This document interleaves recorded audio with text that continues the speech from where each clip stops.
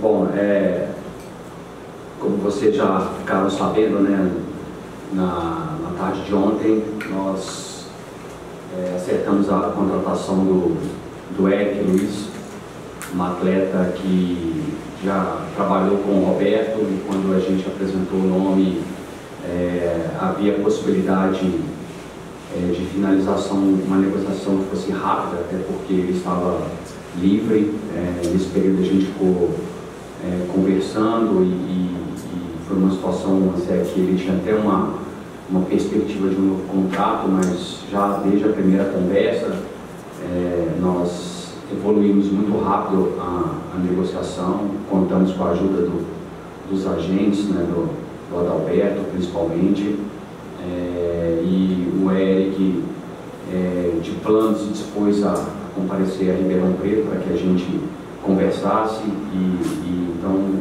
ele chegou ontem mesmo em Ribeirão Preto e, e, conversamos, colocamos a situação, ele colocou as condições dele, nós fizemos uma negociação muito rápida, ele já, até por ter trabalhado também já em janeiro, já estava em condições de já iniciar o trabalho com, com a comissão técnica, que de fato já começou ontem à tarde.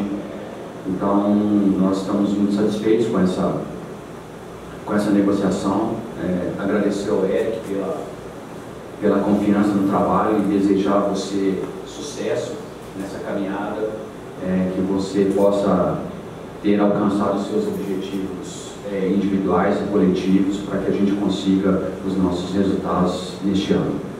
É, vamos mexer na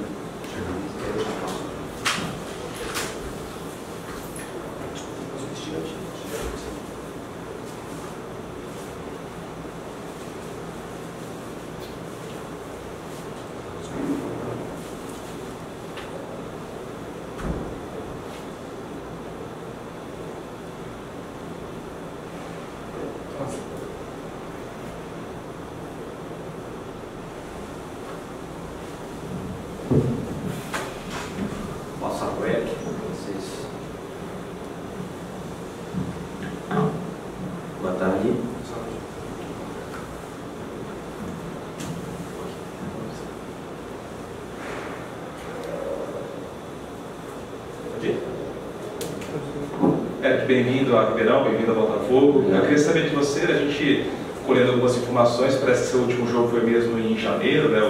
Você vinha se preparando e tal. E saber de você de imediato como estão as suas condições físicas, porque restam só quatro jogos, tem que chegar alguém para jogar para ontem, aquela urgência para ajudar o time a sair dessa zona desconfortável, proximidade com a zona do rebaixamento. Como estão as suas condições? Se você já tem condições mesmo de fato de jogar na segunda-feira contra a Ponte. Boa tarde. Boa tarde, primeiramente, boa tarde a todos. Com certeza, né? Eu tinha é, conversado com o Cavalo sobre isso, que o meu jogo foi realmente, dia, o último jogo foi dia 26 de, de janeiro, e até então não parei de, de treinar. E eu tenho condições sim de jogar, corresponder. É, graças a Deus, ontem já tive meu primeiro tempo, me sentia muito tranquilo, o grupo é muito bom. Eu acho que essa situação aí é só questão de tempo. Webkey, tudo bem? O que, você pode falar para a gente a respeito do futebol do Bahrein? É, qual que é o nível do campeonato lá? Vocês treinavam todos os dias? Como é que era essa parte física e de bola mesmo? É, o futebol do Bahrein é um futebol muito disputado, né, cara? Por exemplo, lá a gente só jogava final de semana, né? Mas dia de semana, por eu ser um atleta de fora, eu trabalhava amanhã de manhã e à tarde, a maioria da semana. Para poder continuar dando aquela assistência no preparamento físico, a gente sabe que treinamento à noite, é um treinamento que é mais reduzido, mas eu trabalhava assim, de manhã e à noite. É, boa tarde. É, você tem alguma preferência por atuar em algum lado do campo, direita ou esquerda? E se fosse para você classificar ou comparar o nível de futebol do Bahrein, você compararia com qual tipo de campeonato aqui? Série A1, Série A2, Série A3, Série AB, Série A de brasileiro, Série B de brasileiro? É, já tinha trabalhado com cavalo, né? Antes.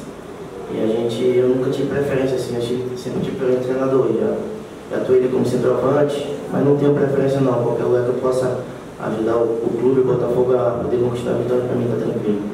E em relação à classificação, A1, lá o futebol é, evoluiu muito com o tempo. E graças a Deus eu estou pude desempenhar lá na temporada com 14 gols. E fui um dos artilheiros da competição, fui artilheiro do meu time, pretendo é, já começar com o. É, boa tarde. É, quando o Cavalo foi apresentado na semana passada, ele disse que o primeiro contato que ele teve com o time, o Botafogo está finalizando muito mal. E o time hoje tem seis gols no campeonato, são oito rodadas, enfim, um dos piores ataques da competição. Acho que o São Bento que tem o pior ataque, mas o Botafogo também está ali. Uh, você sempre foi artilheiro, você uh, começou a fazer gols agora, enfim, a sua característica mesmo de jogo é o cara que é centroavante mesmo, mas é o cara que, que mais constrói jogadas para um outro atacante balançar redes? Ah, é, lá no Bahia eu pude desempenhar melhor essa situação minha de fazer gols, né? Mas eu tenho essa característica de, mesmo trabalhando como centroavante, poder buscar mais o jogo, mas minha característica cara, é fazer gol.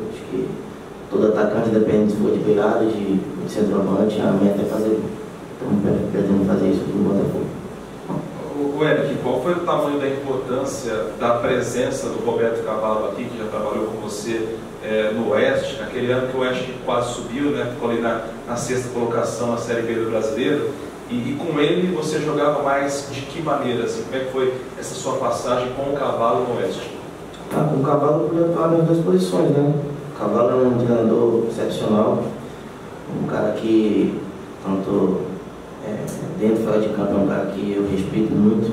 Tenho até o contato com minha esposa que prevaleceu a ideia de eu ficar aqui no Brasil por minha filha ter nascido agora, tem um mês. E eu conversei muito com ele, falei da, da, da importância de ficar aqui e poder mostrar realmente meu trabalho para ele. Então, só tenho a agradecer ao Cavalo e ao Botafogo por ter confiado em mim, por estar confiando em mim e pode deixar a Boca responder da melhor forma possível. Foram quantos gols para entender? 14. 14 é. em um ou dois anos? Um ano. Em um ano? Um ano. É isso. Você ficou dois anos lá? Um ano. Fiquei ah, um, ano. ano. É porque lá eu cheguei na metade da, da temporada, né, ano passado, e esse ano fiz até o, até o final do ano. Entendi. Pois é, o colega já, já perguntou aqui, eu vou emendar a sua pergunta, viu, Luiz? Aliás, o Melo também perguntou né, a respeito desse ataque do Botafogo que marca poucos gols, é considerado um ataque lento. Você é velocista e você é matador? É, a gente tenta, né? a gente tenta, mas a responsabilidade é, não é só minha também. Tem outros jogadores de qualidade aqui que hoje perceber ontem no treino, de finalização. E a gente vai trabalhar, cara. É trabalho e boca fechada, trabalho para a gente poder é, fazer um bom jogo contra o, contra o Ponte Ô Eric, é, falando um pouquinho fora das quatro linhas agora, é, o que, que você notou do comportamento, do ânimo do pessoal nesse seu primeiro contato? E já emendando uma na outra, é, com quais jogadores desse elenco atual do Botafogo você já trabalhou? É, com jogadores, até agora não trabalhei com nenhum, né? Mas conheço o Natos, que é meu conterrâneo lá de Salvador. Conheço o Evandro, que é um amigo meu pessoal, que foi através do Titi, quando eu joguei no Audax. Eu joguei muito contra cara, eu senti um ambiente muito leve. É, independente da situação, a gente tem que estar com alegria. Isso é uma coisa que eu levo para minha vida, entendeu? Mesmo nas piores situações, gente tem que ter alegria, tem que ter paz no coração, para a gente poder desempenhar o nosso melhor dentro de campo. O Eric, o próximo jogo do Botafogo é contra a Ponte Preta, rival histórico do Botafogo. E o Cavalo vai ter o Felipe Saraiva, tem uma questão contratual com a Ponte Preta, então provavelmente ele não vai jogar, exceto se o Botafogo pagar multa, mas provavelmente não. Você já está pronto para ser titular? Ou você acha que, enfim, uh, talvez colaborar no segundo tempo? Como é que você está fisicamente? Já pode jogar? Fisicamente eu estou tranquilo, cara. É... Agora é esperar o cavalo. Se o cavalo optar por mim, você titular, você reserva. Eu vou tentar ajudar da melhor maneira possível, mas se for titular se for reserva, eu estou tranquilo. Você falou que seu último jogo foi na, no final de janeiro, né? Pelo Manama, né? Aí você voltou para o Brasil. Como que você vinha manter a forma física? Foi em algum clube? Como que você vinha trabalhando para manter essa forma física? Estava aguardando uma oportunidade é, para voltar é, para o Brasil?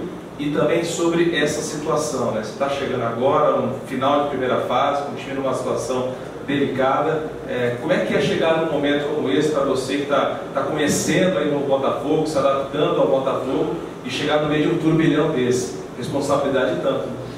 É verdade, a nossa habilidade é muito complicada. A gente sabe que é, todo time tem seus e baixos. O Botafogo, nesse momento, acho que falta um pouquinho de sorte, um pouquinho, de, um pouquinho mais de calma ali na hora de finalizar.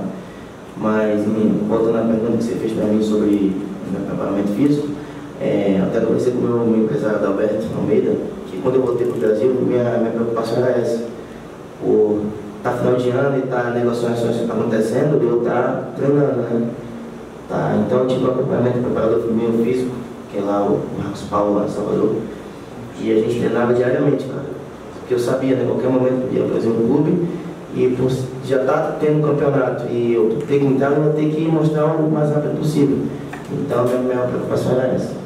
Obrigado, gente.